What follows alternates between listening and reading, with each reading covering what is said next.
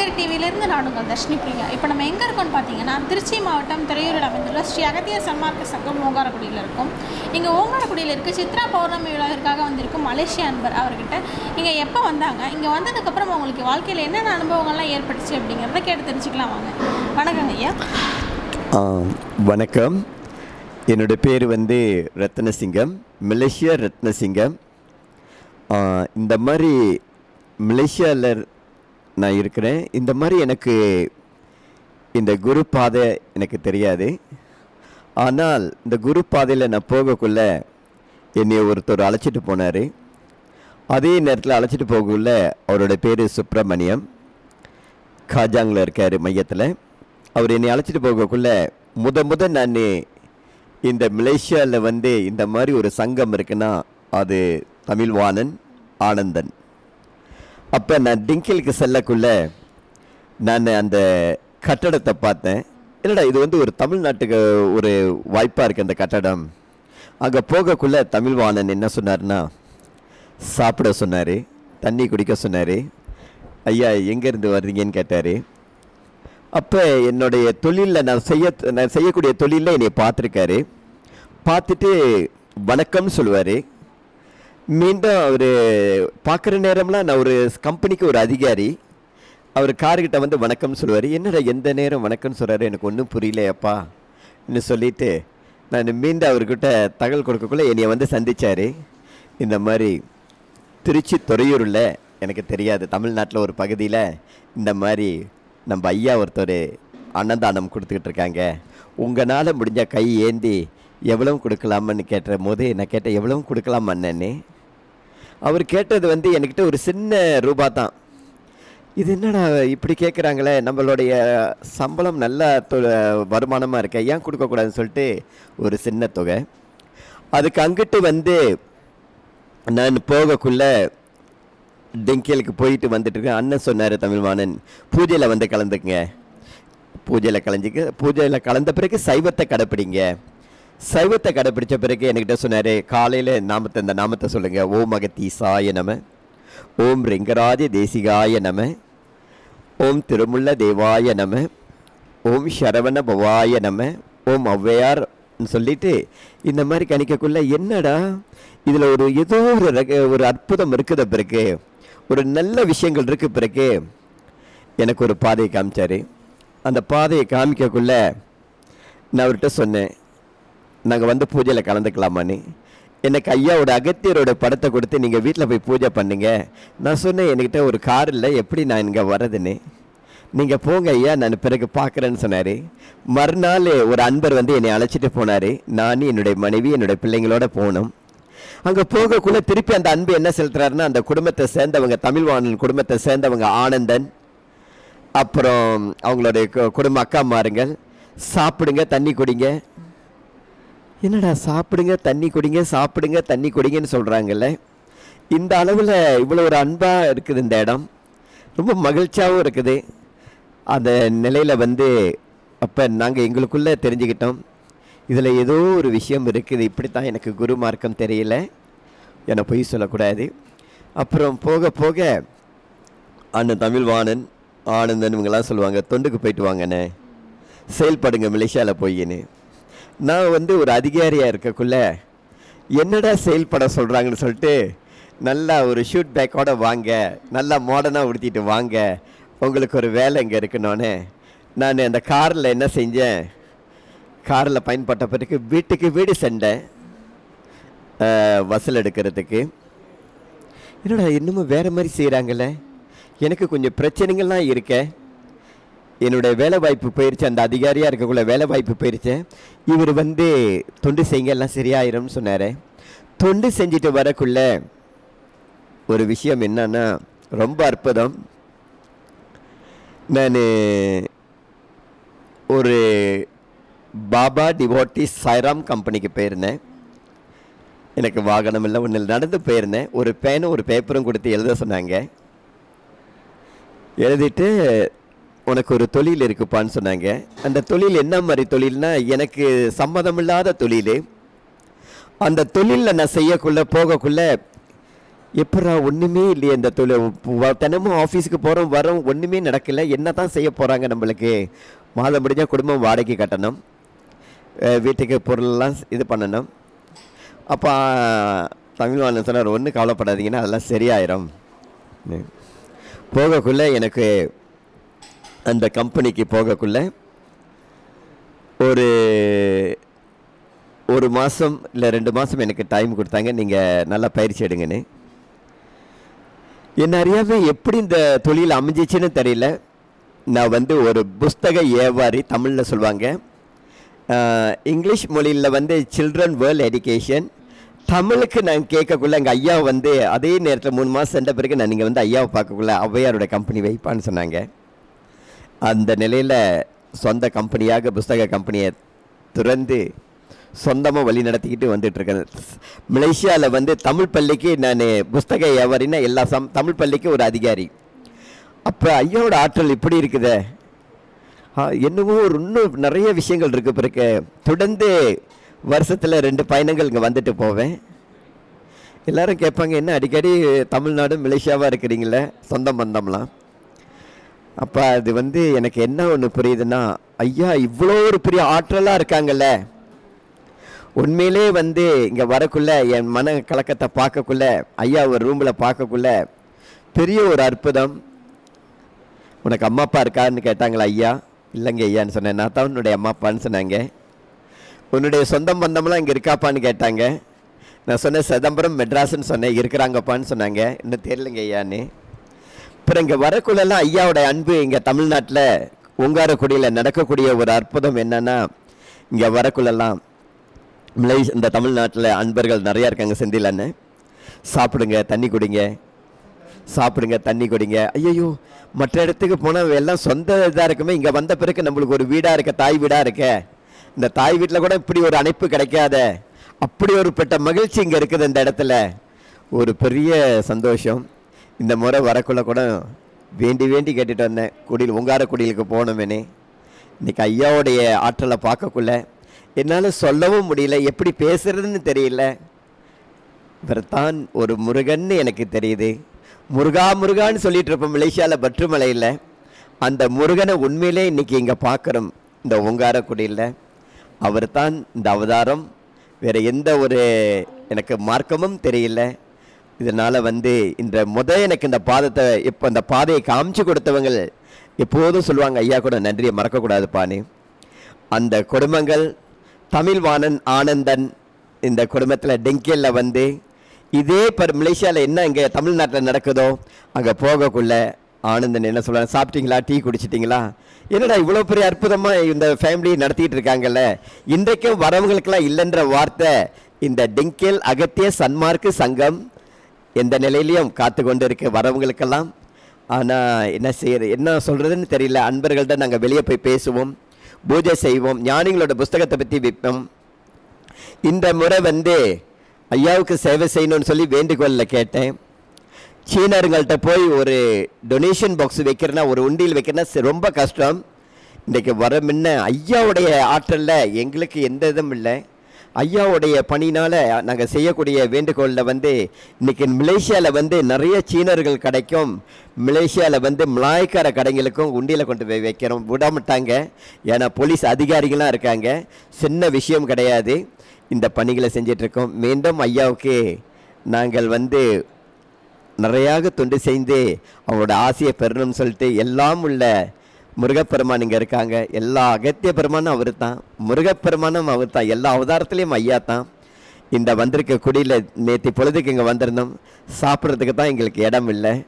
நல்ல ஒரு அப்படியான ஒரு அற்புதமான ஒரு நிலையை இந்த பாதையில் கொடுத்துருக்காங்க. அதே மாதிரி இந்த எல்லா நிலையிலையும் இந்த உலக மக்கள் எல்லோரும் ஆசானுடைய பின்பற்றினால் நிச்சயம் நல்வாழ்வு வாழ்வுன்னு சொல்லி எந்த வருடம் இங்கே வந்தீங்க ஐயா இந்த எப்போ இங்கே இது நான் வரக்குள்ள எனக்கு அதுதான் எனக்கு கொஞ்சம் தாமதமாக இருக்குது பொய் சொல்லிடக்கூடாது. நான் வந்து அப்போ திருமணம் செஞ்ச பிறகு என்னுடைய மூத்த மகனுக்கு வந்து ஒரு பதிமூணு வயது. இன்றைக்கு அவருக்கு முப்பத்தி மூணு வயது. எனக்கு மருமகன் மருமகள் குழந்தைகள் பேரை குழந்தைகள்லாம் இருக்குது.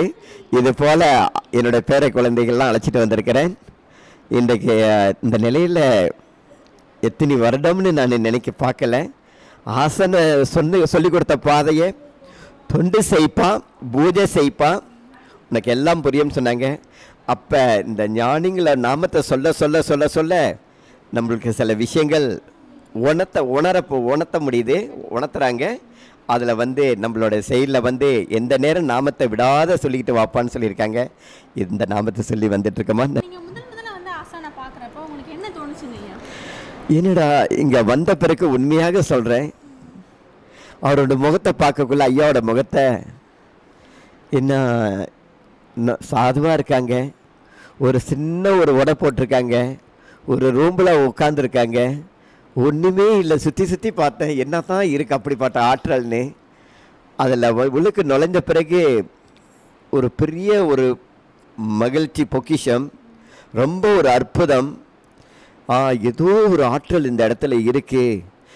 எப்பா திருப்பி நான் வர்றதுக்கு இந்த பயணத்தை நீ விட்டுறாதீங்க தடை விட்டுறாதீங்க. பாவம்னு சொல்கிறீங்க கர்மம்னு கர்மான்னு சொல்கிறீங்க எனக்கு இதெல்லாம் ஒன்றும் தெரியல.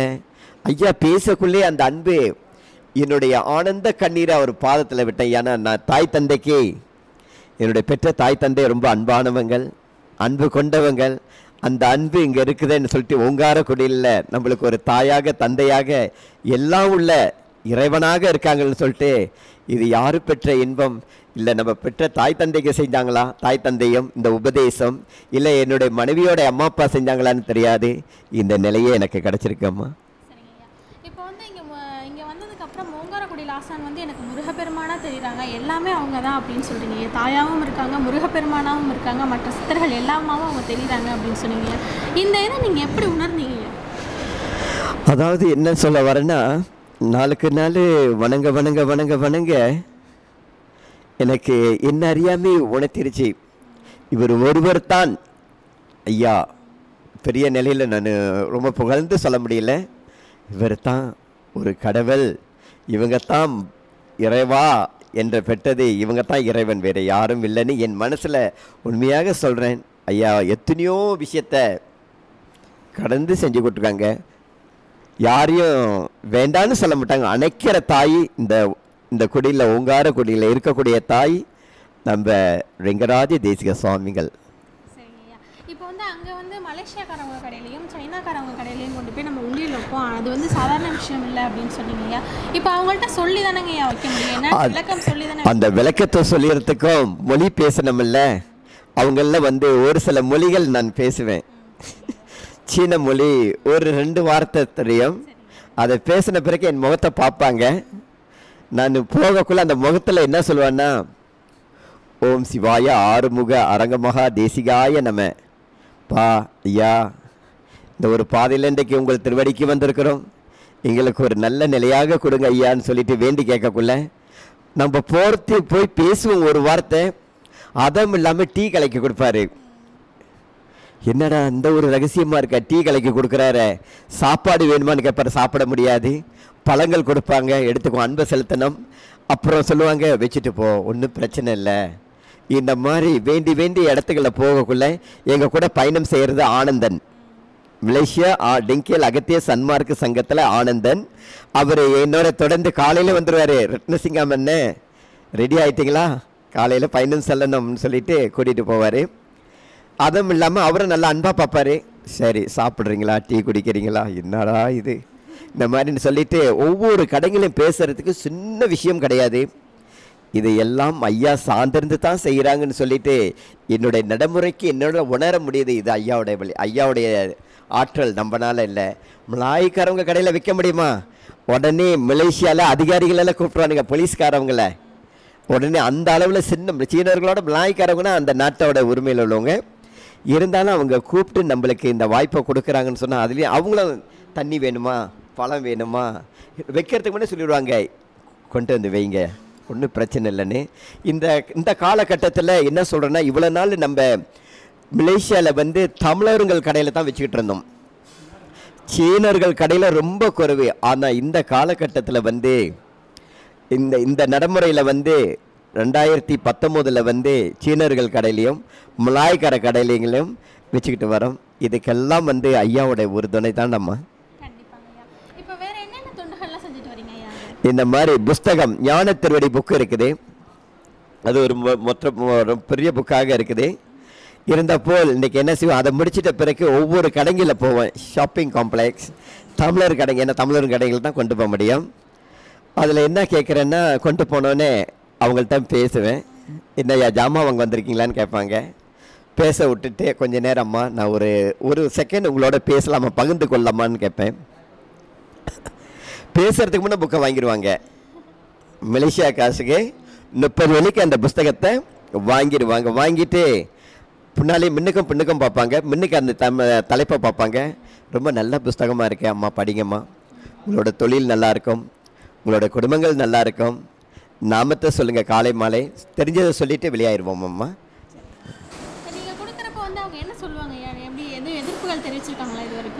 அந்த மாதிரி ஒரு சூழ்நிலைகள் ஐயாவை பற்றி எனக்கு நிறைய தெரியுது. இன்டர்நெட்டில் வெப்சைட்டில் நிறைய ஐயாவோட பெருமையை பற்றி மலேசியாவில் நிகழ்ச்சி நடத்திக்கிட்டு இருக்காங்க. ஒரு பகுதி இல்லை கோயில் பகுதி பெரிய பெரிய மண்டபத்திலையும் பல இடத்துல ஆசானுடைய பெருமையை பேசிகிட்டு இருக்காங்கன்னு சொல்லிட்டு அன்றைக்கு விளம்பரம் குறைவாக இருந்ததம்மா. இன்றைக்கு நிறைய ஐயாவுடைய ஆற்றல் மலேசியாவில் வந்து ஹோல் மலேசியாவில் வந்து எல்லா பகுதியிலையும் தெரியுது பாட்டு எல்லாத்துக்கும் தெரிஞ்ச பிறகு அடக்கமாக இருந்து அதாவது தொண்டுக்கு போகக்குள்ள பணி ரூபா கொடுப்பாங்க.